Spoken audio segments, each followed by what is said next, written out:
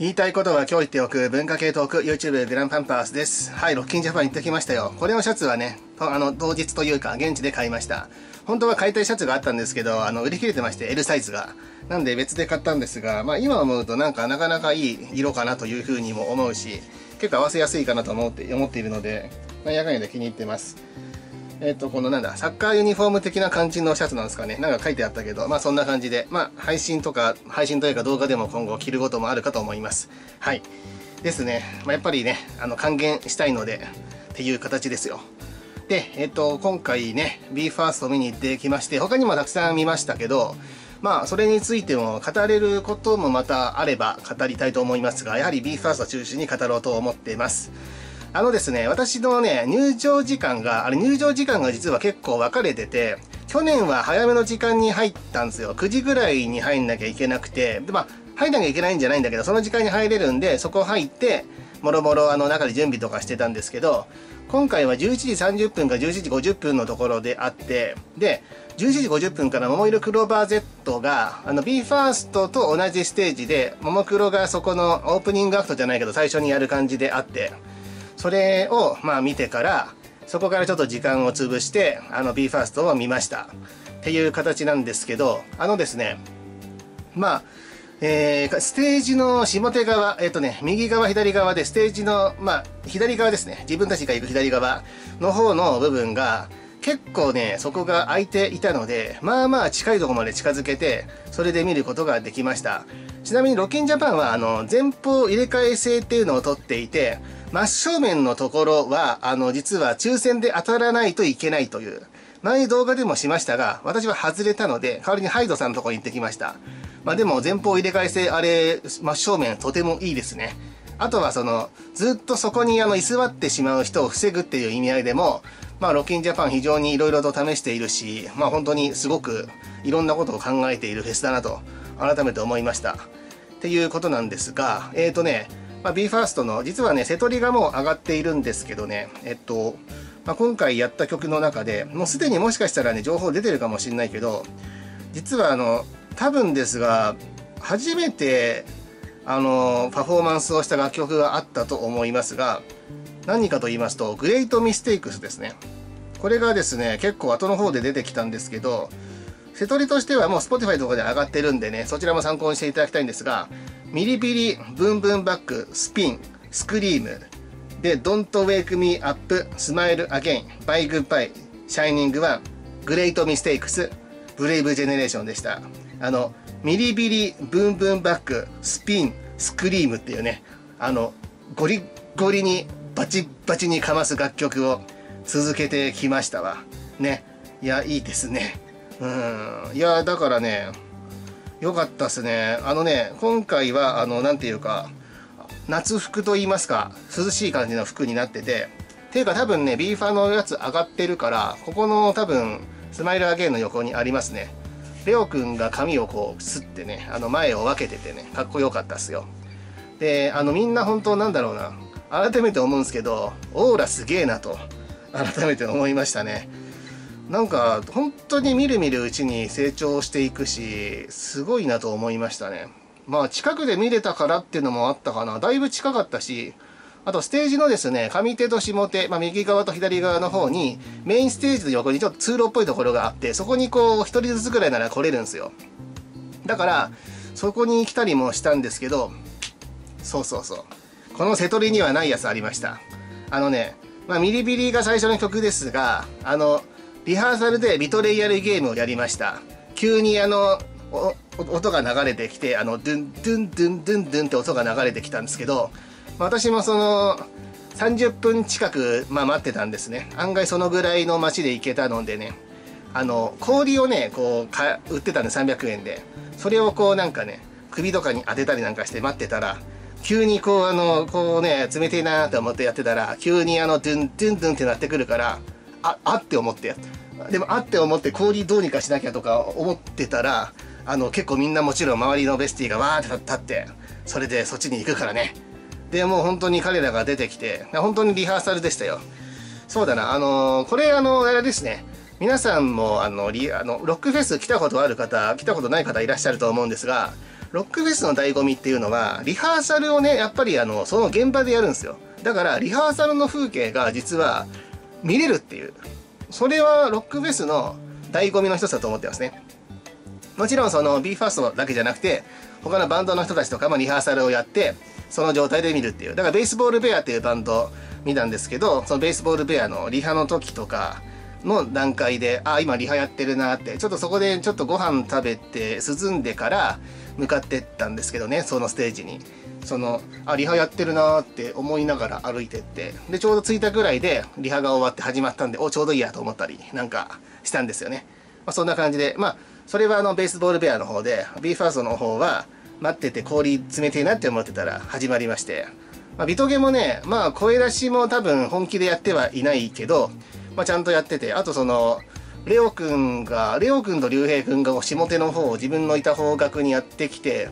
先にあのレオくんが通路の方をこうあ全部歩いてきて、それ帰ってってマナトくんにちょっとなんか話してたんですよね。だからこっちの方とか行けるよみたいなそういう話をしてたんですかね。で、それでやりとりがあって、その後竜兵くんも来たりなんかして、で、あの、私たちもね、あの、こう、竜兵君とかにこう、手をこうやって振ってましたけども、まあ、やっぱリハに集中していたみたいで、そこの部分はね、あの、集中してました。まあ、リハも時間がないですからね、こっちとしてはそういうのありますから、それはまあ別に大丈夫ですよ。うん。で、まあ、そんな感じでありまして、で、なんだろうな、その後結局、まあ、始まるまでちょっと時間があったんですけど、やっぱね、あの、男性客が結構いるなってイメージ。まあ、当然女性が多いんだけど、男性客も結構いて、そうそうそう。で、なんかね、あの、私の方じゃなくて、たまたまちょっと話をした人がいて、その人の周りも男性客多かったみたいで、まあ明らかにだから BE:FIRST を初めて見るってパターンの人も多いだろうなっていう形でしたよ。ちょうどね、その、桃色クローバー Z をその前に見てたんで、あの、ももクロ初めて見る人みたいな感じで、ももクロちゃんたちが言ってて、私も初めてだったから、はいってあげましたが、結構たくさんいたし、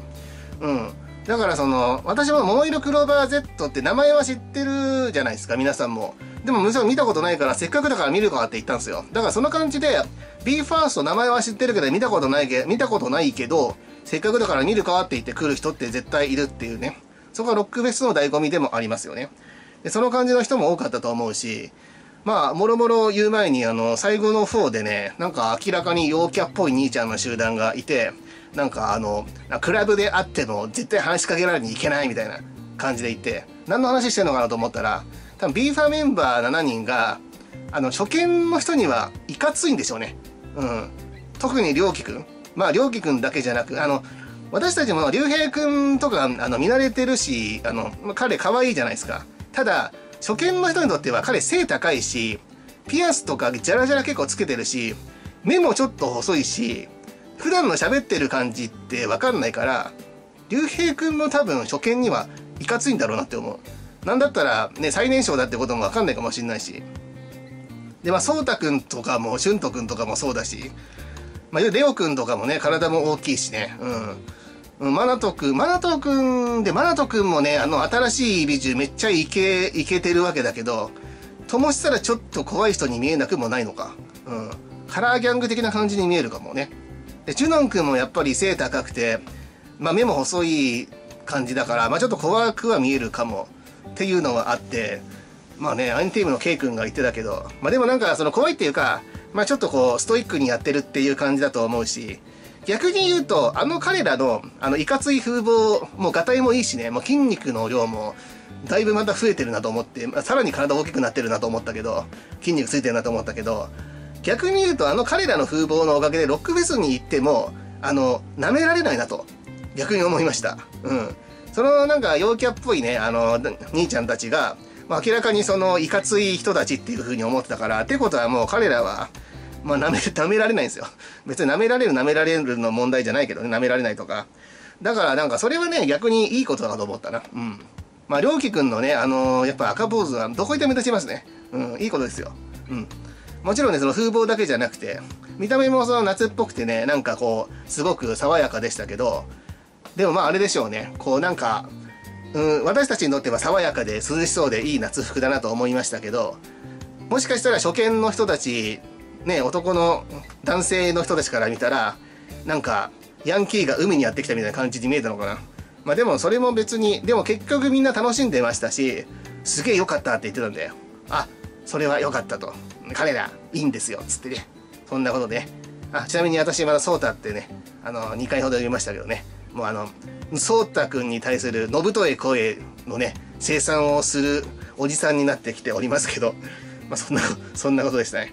で、ちなみにその、えっと、 Betrayal Game をリハでやりました。で、 Milli-Billi、 Boom Boom Back、 Spin、で、 Scream があって、MC があって、で、マナト君が結構中心で、そこの MC は喋っていました。で、 Don't Wake Me Up。これはもうガンガン乗るんでね。うん。で、その後は Smile Again。で、MC でレオ君が。で、結構レオ君がそこでちょっと調子が悪くて、あの、結構 MC カミカミだったんですけど、あの、こんなあの、カミカミになる、こんな言葉カミカミになるぐらい必死で歌ってるんですよ、みたいな感じで言ったらみんなギャーって笑ってたから。うん。いいっすね。そのレオ君もそういうのを笑いに転換して余裕感じますね。うん。っていうことと。で、それが終わって、 Bye-Good-Bye、 Shining One、で、あの、 Great Mistakes。っていうことで、これはエモエモかった。で、そこから MC があって、ここもレオ君が中心で喋って、で、 Brave Generation で終わるっていう。基本だからマナド君とレオ君が中心で喋った感じというか、あ、でもあれか。まあ、相づち的なのはあったと思うけど、基本喋ってたのはその二人でしたね。うん。っていうことで。あと、スクリームのね、あの、りょうきくんのね、あの、あはははのところがね、なんか体が顔をブルブルブルって震わせて、なんか、すごい特殊でしたね。面白かったです。うん。竜兵くんはね、まあ、あれは魔性の男ですね。あの、スクリームね、あの、いつも通りのハハハって笑いなんだけど、なんかね、ちょっと、あの、その笑いの中に 失礼。興奮しすぎでございますね、多分ね。笑いの中に妖艶さが混ざってきて、えって思って、やばって思いましたね。やはり竜兵くんはね、これマツコさんも言ってたっけ？マツコデラックスさんも言ってたっけこれ？竜兵くんに恋をする女性は多分結構大変だなと思いますね。まあ、そんな感じですよ。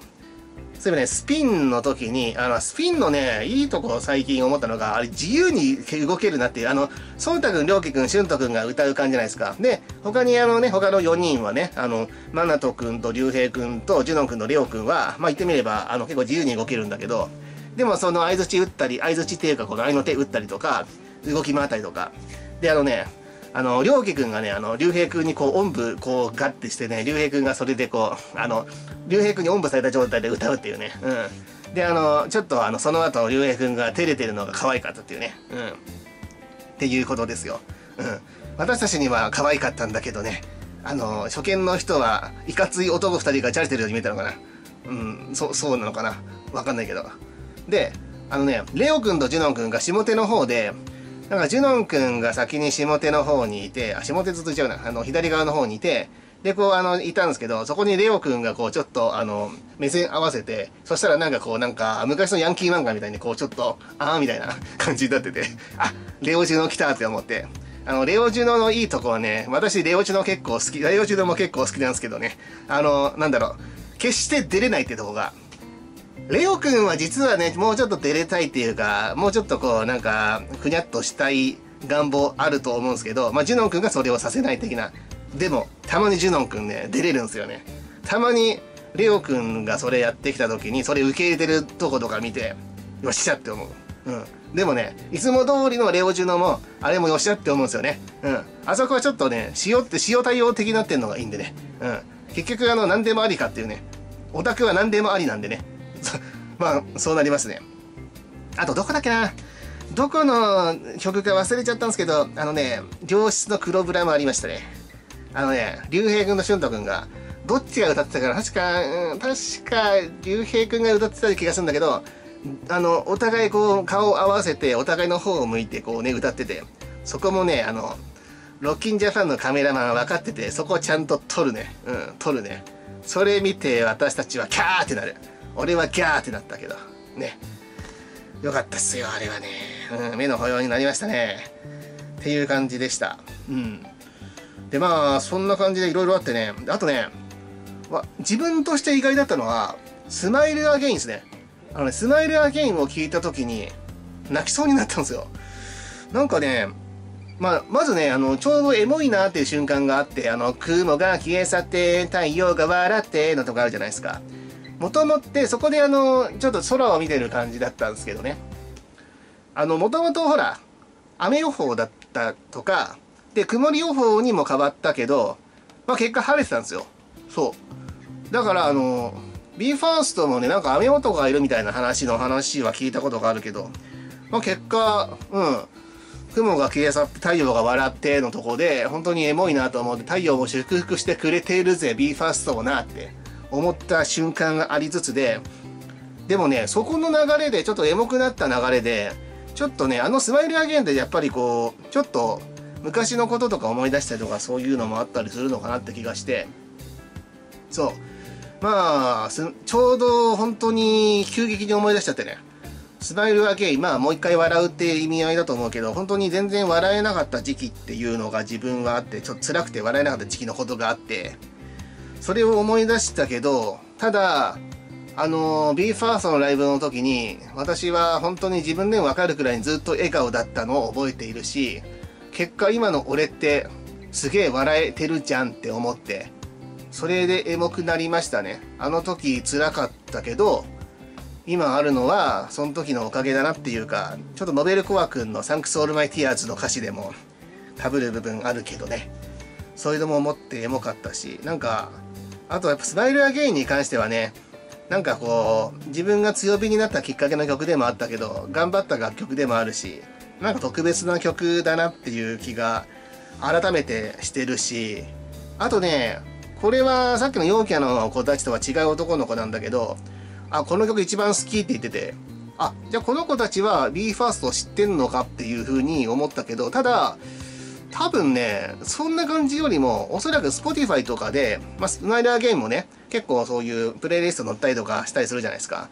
で、なんやかんやで、私も、まあ、そういうもあるし、プレイリストで聞いたりもあったかもだし、あとは、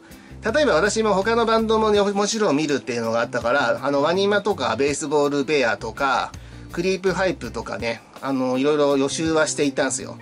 まあ、実は結果的にね、あの、クリープハイプとラッドウィンプスのとこはね、見れなかったんですけどね。うん、まあ、音は聞いてたんですけど、そう、 WANIMA がめちゃくちゃ良かったんですよね。うん。まあ、そこの部分も含めてで。まあ、だから WANIMA の楽曲も聴いてはいたから、あ、この曲は知ってるって曲もあったし、その感じで多分予習してきた感じで BE:FIRST の楽曲を聴いて Smile Again が好きっていう風に言った人とかなのかなっていうねそういう感じですようんまあだからそういうのもあったのかなって気もするしまあ Smile Again に関してはまあ本当になんか急に自分で泣きそうになったのはびっくりしたけどうんね。なんでしょうね。うん Grateful Pain とかで泣いたりっていうのはあるじゃないですか。 Smile Again で自分泣くかって思ってさ。うんでもたまたまザストを見返してる段階だからがね Beautiful Now とかから繋がってくるストーリーでもあるしね。っていうことですかねうん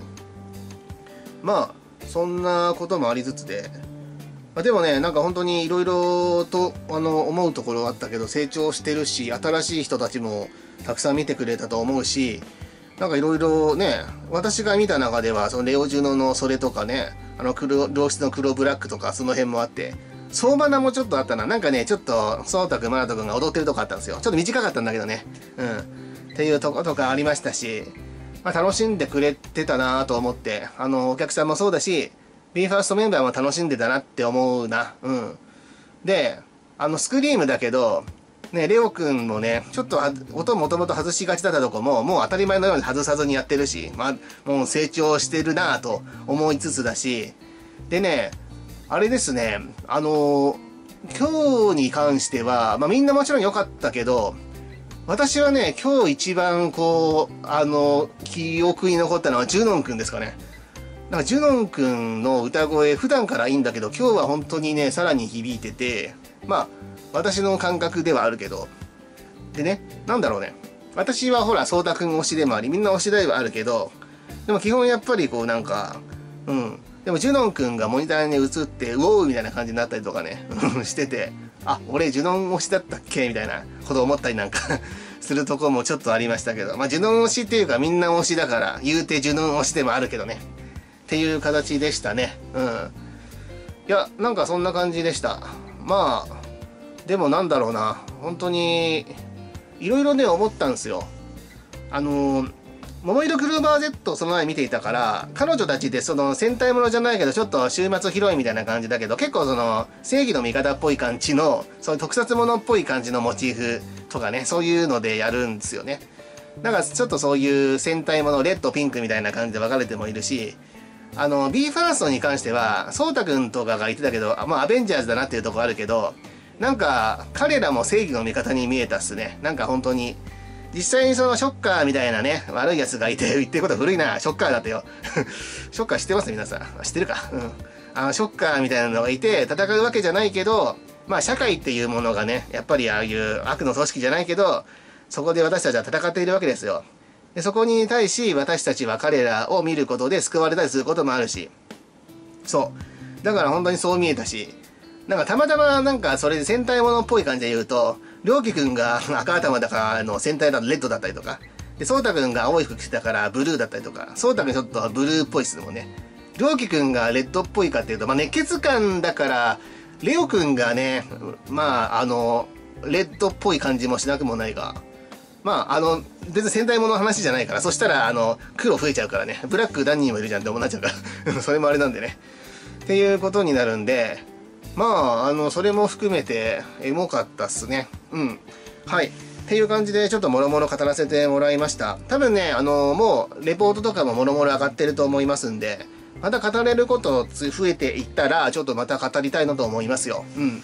まあ、グレートミステークス歌ったっていうところもそうだし、感動しましたし、うん。で、スマイルアゲインで私は楽んだなと思ったりしたしね、うん。っていうこともありました。なんか、エモさも相まってってとこもあった気もするかな。Don't Wake Me Up の後だったからね、それもあったかもしれないね。うん。あとね、ツイッターでたまたま見つけたんだけど、X です。X で見つけたんですけど、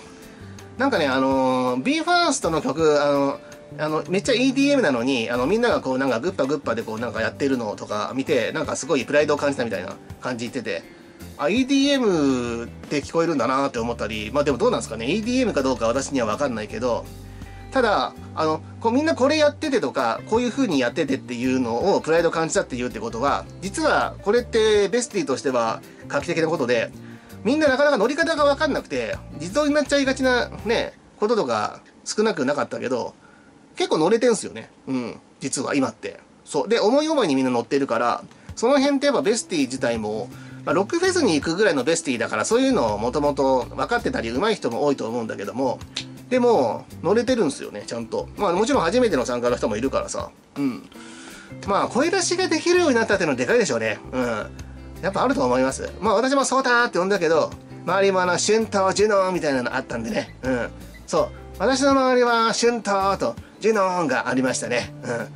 まあ、そうっすね。はい。よかったっす。ね。いやー、でも楽しかったっすよ。ね。暑かったけど、うん、でもやっぱりロックフェスいいなと思いました。まあ、なかなかね、でも今日はね、暑かったけど、案外、雨も降んなかったのもあったのも含め、ちょっと、あの、気温下がってたんで、案外日陰になるタイミングもあったりして、そうそう涼しかったし、まあ、日焼け止め、あの、アネッサガンガン塗ってったし、さっきみたいな氷とかも売ってて、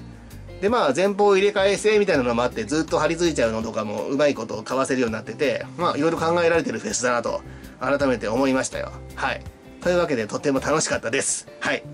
はい。じゃあ、そんな感じでね、また、先ほども言いましたが、もろもろ追加で語れることあったら語っていきたいと思います。はい。では、私はいろんな動画を撮っていますので、タイトル、サムネイルで興味あるものございましたら、ぜひご覧ください。そしてすぐに情報が入りますように、チャンネルの登録をお勧めいたします。では失礼します。言いたいことは今日言っておく、街角の語り部、グランパンパースでした。